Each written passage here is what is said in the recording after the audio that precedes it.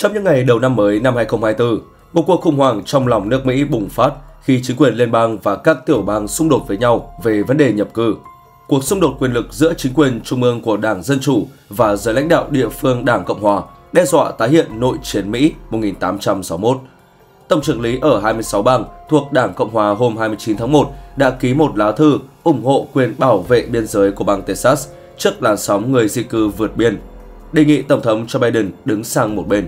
Thống đốc Texas Greg Abbott cho rằng việc Tổng thống Joe Biden liên bang hóa lực lượng vệ binh quốc gia sẽ là một thảm họa hoàn toàn trong bối cảnh căng thẳng giữa tòa Bạch Ốc và tiểu bang Texas. Lực lượng vệ binh quốc gia Texas dường như đã phớt lờ phán quyết của tòa án tối cao trong tuần này và Greg Abbott đã đăng trên X sau quyết định này, nói rằng chúng tôi tiếp tục triển khai hàng rào thép gai này để đẩy lùi tình trạng nhập cư bất hợp pháp. Greg Abbott nói với Tucker Carlson rằng việc liên bang hóa lực lượng vệ binh quốc gia, tức là đặt họ dưới sự chỉ huy của Tổng thống Biden thay về thống đốc tiểu bang, sẽ là một điều ngu ngốc. Nhiều tiểu bang do Đảng Cộng hòa lãnh đạo đã bắt đầu gửi nhân sự và nguồn lực từ nhiều tháng trước để chống lại các cuộc chạm trán người di cư ngày càng gia tăng ở biên giới Mỹ-Mexico. Trong đó một tiểu bang đã từng nói rằng chính quyền liên bang không thể loại bỏ được sức mạnh đoàn kết của 26 tiểu bang Cộng hòa. Chúng tôi đoàn kết với thống đốc đồng nghiệp của chúng tôi, Greg Abbott và tiểu bang Texas cho việc sử dụng mọi công cụ và chiến lược, bao gồm hàng rào dây thép gai để đảm bảo biên giới. Khi căng thẳng bùng phát giữa thống đốc Texas, Greg Abbott và chính quyền Biden đang diễn ra gay gắt. Ngày 22 tháng 1, Tòa án tối cao Mỹ ra phán quyết cho phép chính quyền liên bang dỡ bỏ hàng rào thép gai được dựng lên tại biên giới của bang Texas. Hệ thống rào này là tác phẩm của chính quyền bang Texas, được thống đốc Greg Abbott khởi động từ năm 2021 sau khi ông Biden lên nắm quyền tại Nhà Trắng và nới lỏng việc kiểm soát người nhập cư tới từ biên giới Mexico ở phía nam Texas. Trở lại thời điểm tháng 1 năm 2021, Bộ An ninh Nội địa Mỹ ban hành lệnh tạm dừng nhiều vụ trục xuất người nhập cư về nước để giúp chính quyền xử lý hiệu quả hơn những thách thức tại biên giới Mỹ-Mexico. Đây là kết quả của cam kết mà ông Biden đã hứa sẽ thực hiện trong thời gian 100 ngày sau khi nhậm chức từ khi tranh cử để lấy lòng số lượng lớn cử tri gốc Mỹ Latin trong cuộc đua vào Nhà Trắng trước đó. Chính sách này trái ngược hẳn với quan điểm cứng rắn về người nhập cư của chính quyền người tiền nhiệm Donald Trump. Tiểu bang Texas với 2.014 km đường biên giới chiếm 63% tổng chiều dài biên giới đất liền giữa Mỹ và Mexico, bị ảnh hưởng nặng nề nhất bởi quyết định này của chính quyền liên bang bởi họ phải chịu sức ép lớn nhất từ dòng người nhập cư khổng lồ đến từ phía Nam để đối phó với tình trạng người nhập cư tràn vào biên giới kèm theo những vấn nạn về an ninh xã hội, đặc biệt là buôn lậu, ma túy và buôn bán vũ khí bất hợp pháp. Tháng 6 năm 2021, Thống đốc Greg Abbott đã đề xuất chiến dịch Ngôi sao cô đơn, cho phép chính quyền tiểu bang tự tăng cường hoạt động giám sát đường biên giới của mình. Tháng 2 năm 2022, sau khi được thông qua tại Nghị viện tiểu bang, dự luật trị giá 2 tỷ đô la Mỹ mỗi năm này cho phép lực lượng vệ binh quốc gia Texas ngăn chặn người nhập cư, đồng thời xây dựng hệ thống hàng rào dây thép gai ở những khu vực dễ bị người nhập cư vượt qua nhất hòng ngăn chặn làn sóng này. Việc thực thi hàng rào đó có hiệu quả khi bằng biện pháp dồn những dòng người nhập cư vào các cửa khẩu được kiểm soát. Chính quyền Texas đã bắt họ quay trở lại biên giới dễ dàng hơn. Tuy nhiên, những hình ảnh thương tâm về người nhập cư bị tai nạn, thậm chí tử nạn khi cố gắng vượt qua hàng rào đã khiến chính quyền liên bang vào cuộc. Tổng thống Biden sau nhiều lần thuyết phục chính quyền Texas từ bỏ kế hoạch hàng rào đã ra lệnh cho lực lượng tuần tra biên giới tiến hành phá bỏ hàng rào ở dọc sông Rio Grande vào tháng 10 năm 2023. Chính quyền Texas phản đối điều này và đã kiện chính quyền liên bang ra tòa. Tháng 11 năm 2023, Tòa án Texas ra phán quyết không cho liên bang thực hiện hành động phá hàng rào và vụ án được chuyển lên Tòa án tối cao. Nhưng những rắc rối vẫn chưa dừng lại. Ngay sau phán quyết của Tòa án tối cao, ngày 24 tháng 1 năm 2024, Thống đốc Brad Abbott tuyên bố bất chấp lực lượng liên bang phá bỏ hàng rào thì Texas vẫn sẽ tiếp tục xây dựng hệ thống hàng rào của mình. Sự việc càng trở nên phức tạp khi ngay ngày hôm sau, 24 thống đốc tiểu bang của Mỹ đã ký tuyên bố chung bày tỏ ủng hộ thống đốc Texas Greg Abbott và quyền tự vệ theo hiến pháp của bang này. Trong bản tuyên bố có đoạn viết, Chúng tôi đoàn kết với thống đốc đồng nghiệp của chúng tôi, Greg Abbott và bang Texas trong việc sử dụng mọi công cụ và chiến lược bao gồm hàng rào dây thép gai để bảo đảm biên giới và chúng tôi làm điều đó một phần vì chính quyền Biden từ chối thực thi luật nhập cư đã có và cho phép tạm tha hàng loạt trên khắp nước Mỹ những người di cư vào đất nước chúng tôi bất hợp pháp. Cần lưu ý, các vị thống đốc này cùng với tiểu bang Texas đều là những người đến từ Đảng Cộng Hòa đối nghịch với chính quyền dân chủ của Tổng thống Joe Biden.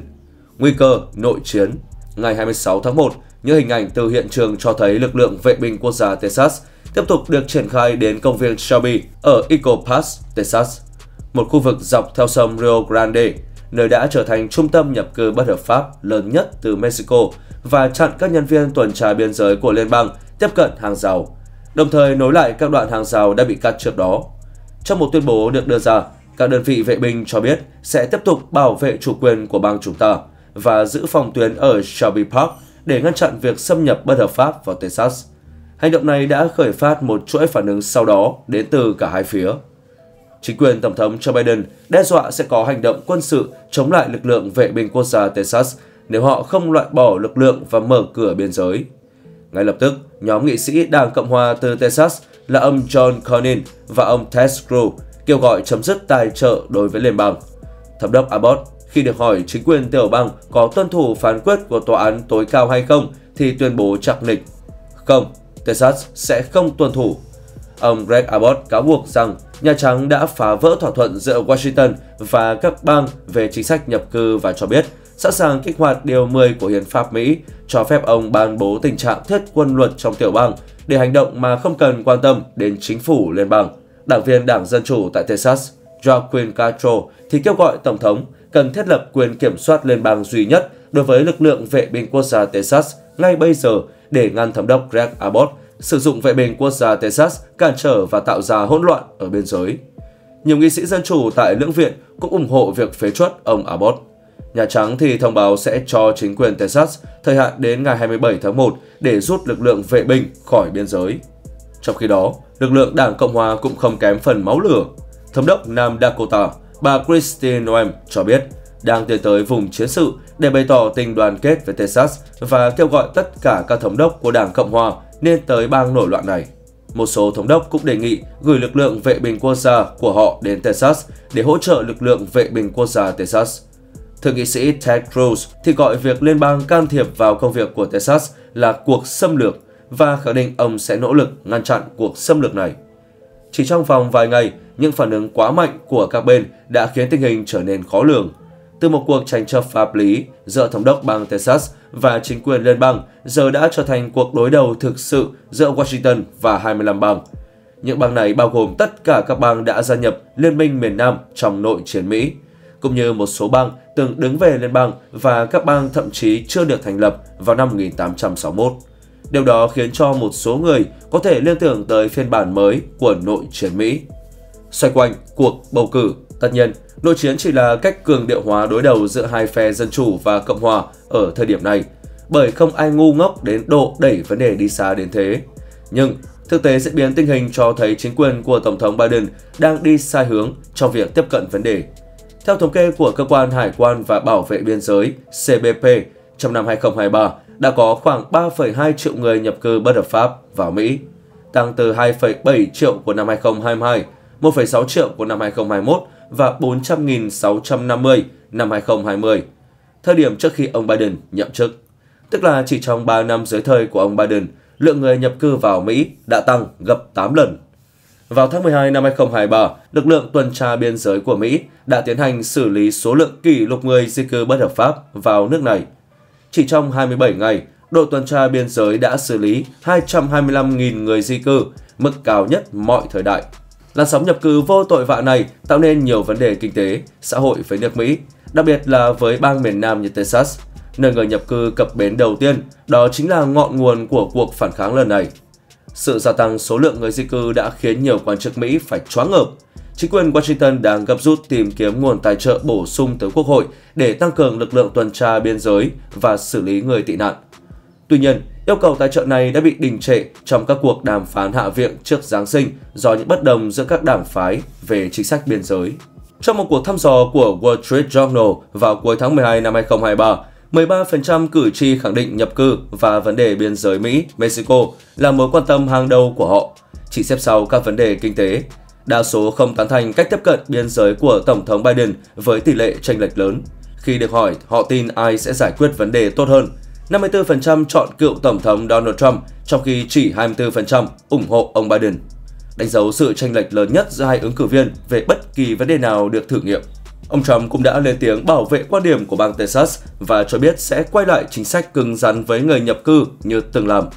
Trong khi đó, những cuộc đàm phán mới nhất giữa chính quyền Washington với phía Mexico để ngăn dòng người vượt biên đang khá bế tắc.